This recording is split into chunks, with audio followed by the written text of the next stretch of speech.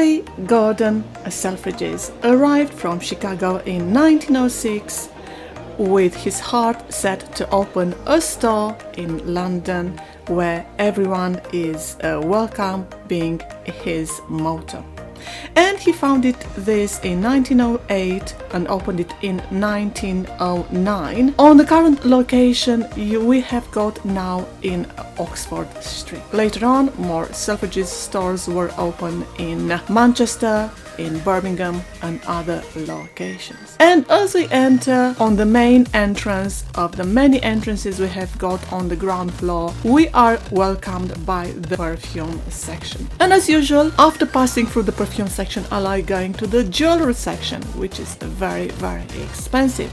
But this is where I get my inspiration for future trends. And I remember some years ago seeing a gorgeous diamond ring here, which was priced I think 25,000 pounds, so rather expensive. No way I would buy something like that. And if you clicked it to one side, it opened the flower, and if you clicked it to the other side, it closed the flower. So this was so beautiful. Uh, it set my heart on to getting a diamond ring in that style, of course, more simplistic, which you saw in one of my uh, videos of last year, I think. As we pass through the main area of Selfridges, trying to reach the main escalator, which will take us to the top floors, we are going to pass now through what I call the bag area, located on the eastern side of Selfridges. So more towards Oxford Circus. Here you have got lots of designer bags and they're all beautiful in different ways. Again, great to see the future trends.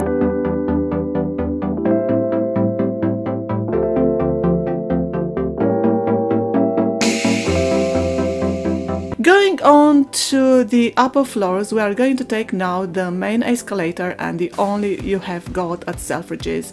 Of course, being lots of elevators located all around on the eastern and western part of Selfridges and we are going to pass through the first floor where nowadays there are as in the past a men's section used to be so much bigger and nowadays there are also lots of designer for women due to the higher demand of women uh, fashion. And on the second floor there are lots of designer again for women as you can see. Uh, this is set like this for many many years although more recently it looks like they had a new restructuring probably getting rid of the brands that weren't uh, selling much just the way it was done at Harrods and you saw in a previous video only filmed some 10 days ago. Of course I had to be monkeying around in front of a mirror as you saw me there and now we are taking the elevator to the top floors. On the next floor, on the third floor, it is the Women High Street section and much more. And then on the top floor, nowadays has been changed onto area for kids. Uh, in the past used to be homeware and I purchased so many items for home from this section. So it's a pity they got rid of lots of homeware nowadays. And uh, if you like to find something unique probably you'll have to go to John Lewis also located in Oxford Street. Less than five minutes walk away at the eastern side of Selfridges, they decided to still keep the food area, one of the many food areas which you find here and also on the ground floor, besides many other cafes scattered here and uh, there.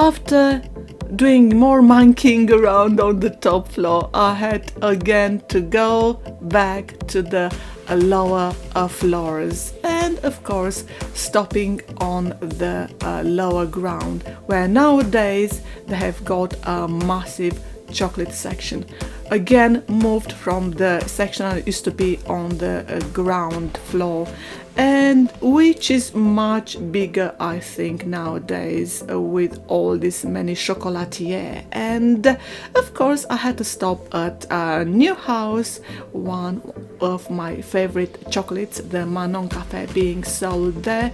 As you can as you saw in the previous video Filmed at Harrods. And of course we had to pass through the wine section and the home section with the technology section uh, being great but not as big as the one at Harrods where more expensive items are.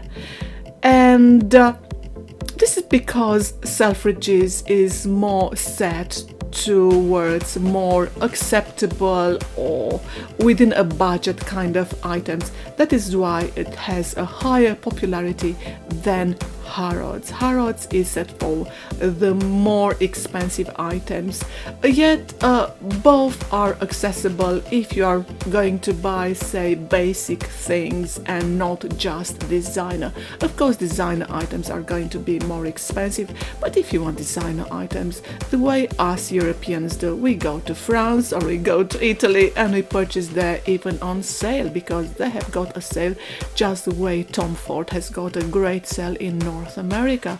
And you can find some great dresses for only say $75 so especially if the pound will be stronger than the dollar then you have a very good saving there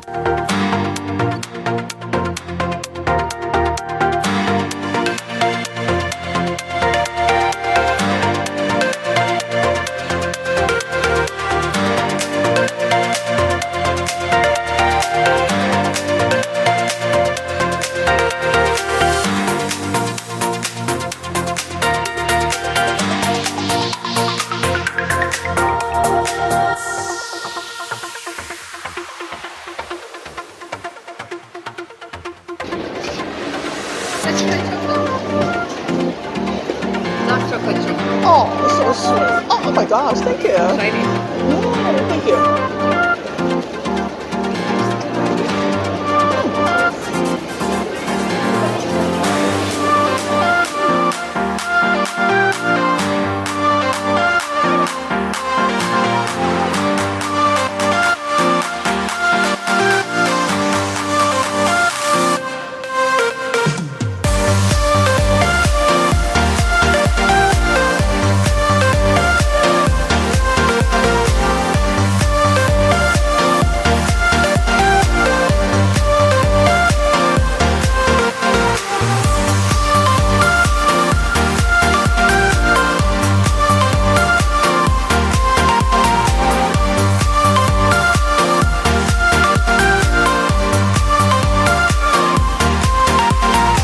After the technology section, we are going to go back, as I said, on the ground floor, stopping at Pierre Hermé uh, because of the great macarons they have got there and I love.